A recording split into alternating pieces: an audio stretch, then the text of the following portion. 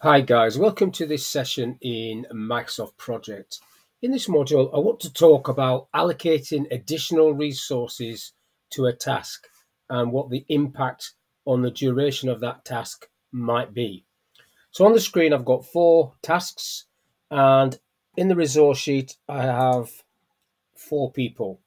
So I'm going to assign people to these tasks. I'll start off with task A and I'll go to the resources tab and click on assign and then I will start assigning people and I want you to watch the duration of that task which is one day. Assign Anne. So I've assigned Anne. Now if I just click on this and just open this up a little bit so you can see it. There's Anne. She's on that task. Nothing happened to that duration. Now, you might want to throw extra resources at that task. If I assign somebody else, so I'll assign, click onto a task. I'll assign Ben. Ben is on that task. Nothing happened to that duration.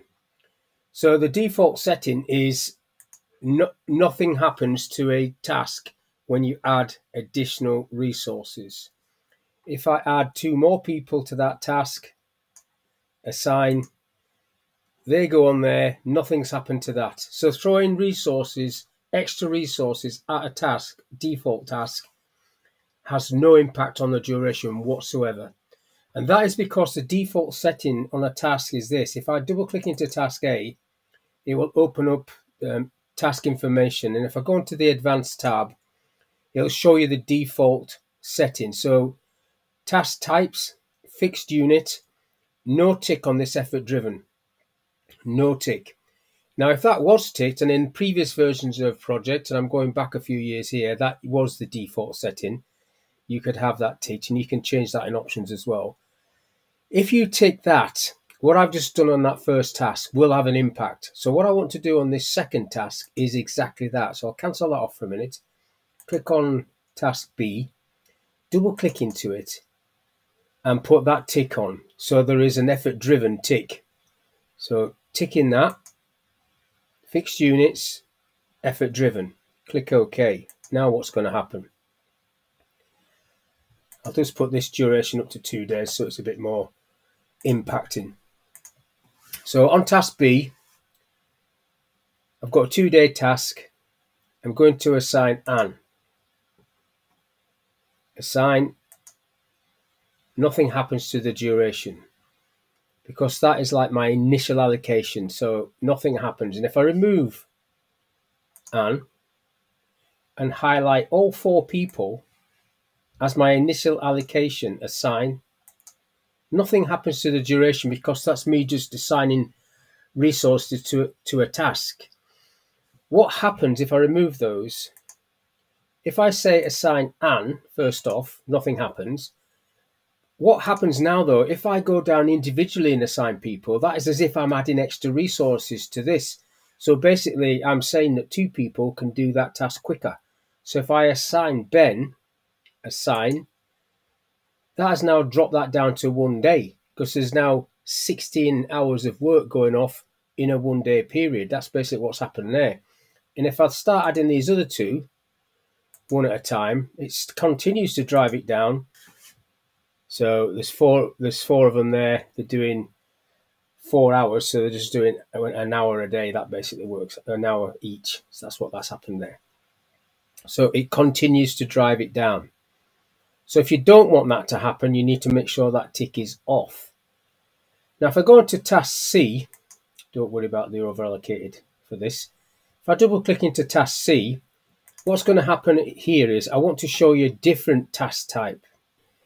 So that one was fixed units. Now you've also got in there fixed duration and fixed work. So if I go fixed duration first, again, you've got the tick option. At the moment, it's not on. So the duration can't come down in this example when you add extra resources because you've got it fixed. So this would be like a training event or something like that. So if I now go through the same process of adding people, I assign Anne nothing happens to the duration and I assign Ben, nothing happens to the duration. So what is happening? Now I haven't allocated any cost to these people, but if I do that, if I go to the resource sheet and just give them some figures on here, let's just say they're all on £10. So £10, and then I can just pull that down for the rest of them. Right, so they're all on £10. Now if I go back to the Gantt chart, we've now incurred costs. So that first task, everybody's paid all day. This task, they paid £40. This task, the two of them are paid the full whack, £80 a day. So what's happening here is the duration is not changing. So when you assign people, they're just getting their normal pay as this one shows you here. They're all getting £80 if I add everybody. They're all getting £80. So that would be like a training event where everybody turns up for a, a six hour or eight hour course. They're all getting their full pay, but the actual duration of the course is fixed. It could be a two day course or whatever. Now, there is an option in there to have a fixed duration task with the tick on. So if I do that one, I get into it and go fixed duration tick on, what's going to go down here? It's not going to be the duration because it's fixed. It's still a one day training event. Clicking OK. What happens? So instead of the duration reducing, when you assign people, first off, Anne is on 80 quid.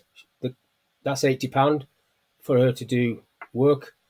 But if you assign somebody else, assign somebody else, you see what happens there? It is driving down the hours that they're both doing. So now on, it's still eighty pound for the day, but these two are just getting forty pound each. And then if you add the other two, you can see there it's just divided up between the eight hours. So they're all doing two hours each of work in effect. So with the tick on, it's the actual work that is is reducing. The work is reducing. Now I want to add one last task, which is fixed work. If I put task E, and I'll put this as 10 days, and I want to change this to a fixed work task, so I'm double clicking into that. There we go, got it. Fixed work, the last one. You don't have the option of putting the tick on or off but you can see, even though it's grayed out, you can see that that tick is on. That means it's going to drive the duration down. I'll click OK. Now, to do a fixed work task, you need to insert the work column. So if I just right click up here and insert column,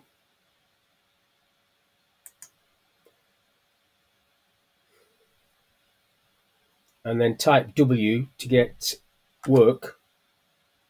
I want the work column then you'll see the actual hours effort that's allocated to each of these tasks 32, 16, 32, 8, 8 hours.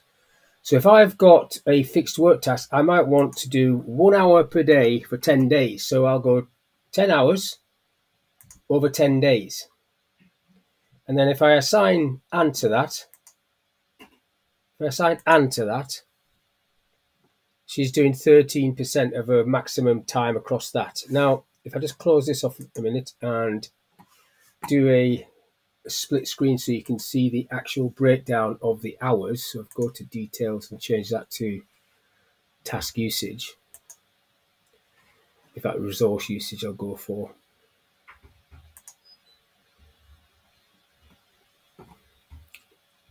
So she's got the hours there forget that she's over allocated. So we're looking at task E. She's working 10 hours. Now, if I bring this screen back over so you can see it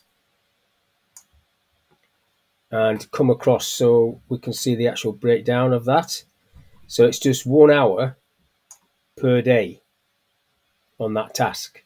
That's what that's doing. Now, if I go back into resource and assign another person, what's going to happen is it's going to draw down the duration because that tick is on. If I click assign,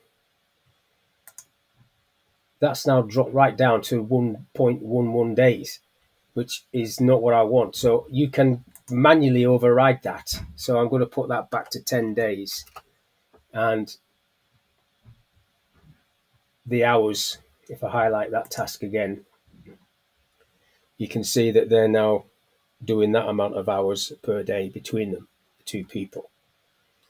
Now if I close this down, get rid of the split, go back to view, take that tick off,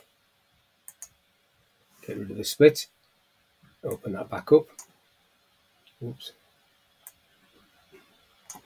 So what you have to be aware of when you're doing Microsoft Project is what type of task type do you want?